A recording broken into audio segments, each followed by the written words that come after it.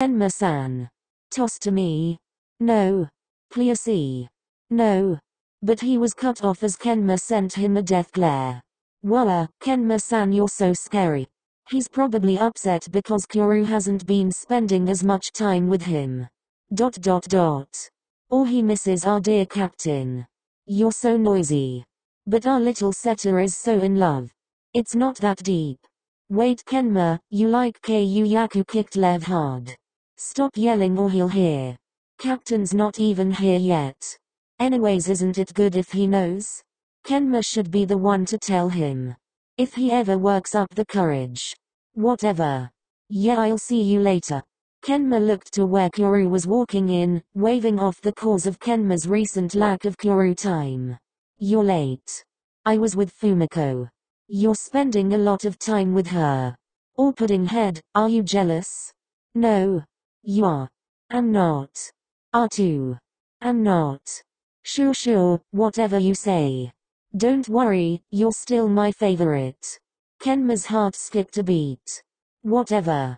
Okay let's get practice started everyone. After practice. Kenma and Kuroo were walking home together as usual. I'm going this way so I'll see you later. Text me when you get home. Question mark. Where are you going? Fumiko invited me over. Oh, Okay, have fun. Stupid, stupid, stupid. Kenma plopped on his bed and sent Kuroo a text telling him he's home. He got excited when his phone buzzed quickly after, only to be disappointed that it wasn't Kuroo. Confess already group chat. Thursday, 6.17 p.m. Tendou sent an attachment. Everyone is online. Oh my god, happy Hinata tears. Oh yay, congrats. Everyone congratulates him. You didn't have to show everyone. But I'm sure they wanted to see. Whatever. How did everyone else's go? We haven't done any more. We were too worried. Dot dot dot. I didn't think you'd all care that much. Of course we do. Yeah we're all friends now. Dot dot dot. Like I'd ever actually be friends with any of you. Crying face. Okay maybe just a little. Happy Hinata. Now that that's all worked out, let's continue. Yes. Oh wait can I add someone to the chat? Of course. Atsumu added Suna to the chat. What is this and why was I added? So you can finally stop pining and ask my stupid brother out already. Dot dot dot. I guess since we're adding people anyways. Iwaizumi added Yahaba to the chat. Why am I here Iwaizumi senpai?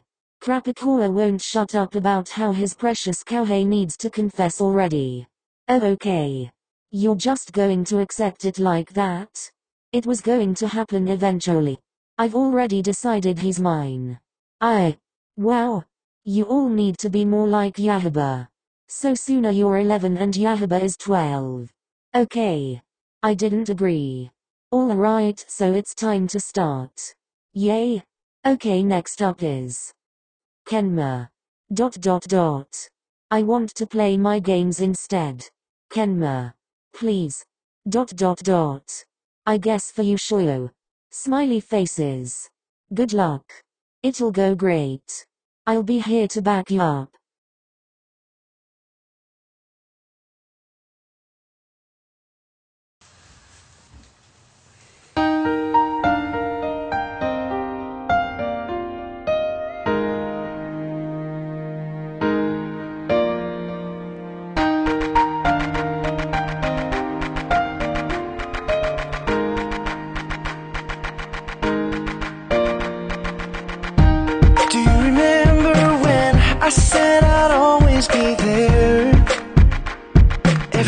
we were ten.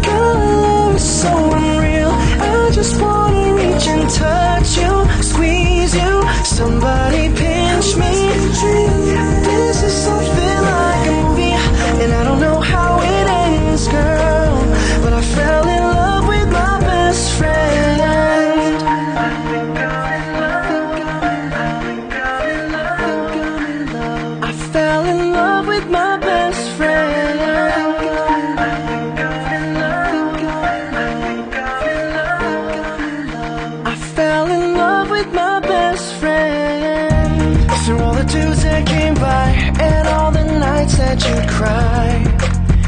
Girl, I was there right by your side.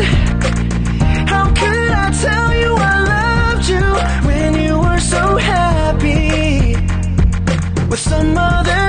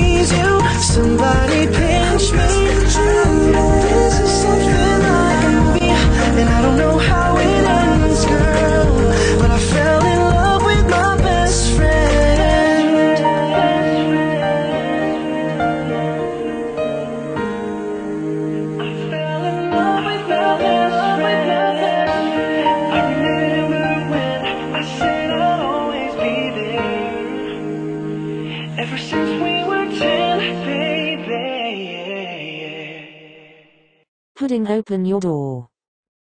This is actually happening I'm so happy. Kuroo and Kenma are offline. When Kenma opened his bedroom door, Kuroo immediately pulled him into a tight hug. Hey, Kuroo. Please tell me you meant it. Kenma blushed. Why yeah I did. This isn't some cruel dream I'll wake up from. Kenma hugged him back. No you idiot. Good. They stayed like that for a while longer, Kenma feeling so warm in Kuroo's embrace. Until he remembered something. W wait I thought you were at Fumiko's house. Kuroo let go and took a slight step back to look at Kenma. I was but I told her I had to come see you and ran here. A and she was okay with that? Hmm. Yeah. Why wouldn't she be? I just thought you two were getting closer. Kenma averted his eyes but Kuroo just as quickly started laughing. So you were jealous. You're so cute pudding. HMPH, whatever. Kuroo placed his hand on Kenma's head and gave him the most endearing look. I promise it's not like that. Really? She just asked me to help her study, then she let it slip that she liked someone and wanted my advice. Oh. Though I guess I wasn't really qualified when I've spent the last seven or so years pining for one person who was the one who ended up confessing to me. Kenma's face turned red. That long? I've only ever had eyes for you. Oh. oh. You're so cute kitten. I I am not and don't call me that. Kuroo stepped closer, causing Kenma to step back. And you're all flustered, it makes you extra cute. I am not. You are. One step closer. Am not.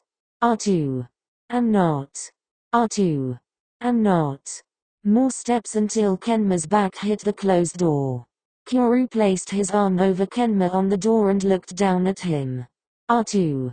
Kenma felt like his body was shaking as his heart beat super fast. Kuroo. He grabbed Kuroo's shirt. K kiss me? Kuroo looked surprised but then leaned in and carefully gave Kenma a kiss. Kenma didn't know something could feel so nice. They pulled away and it took a second before Kenma realized how embarrassing this all was. So. I was about to play Minecraft, you can help me build my house if you want. Kuroo laughed. I'd love to kitten. But we're making some dinner first because I know you haven't eaten. But. No buts except your cute one going to the kitchen. Kenma felt extra flustered so all he could do was grab Kuroo's hand as he guided them out of the room. Fine. If I knew you'd be this flustered and adorable I would have confessed years ago. Dot dot dot. Well you're mine now. I always have been. Extra. What's Kenma doing? Isn't that the girl Captain's been tutoring? I've never seen Kenma be physically affectionate with anyone. Well he's latched to Kuroo's arm now and resting his head against him. Do you think? Maybe. Kenma's jealous?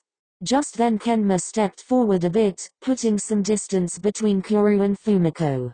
It's kind of like. He's marking his territory. Kenma's so cute.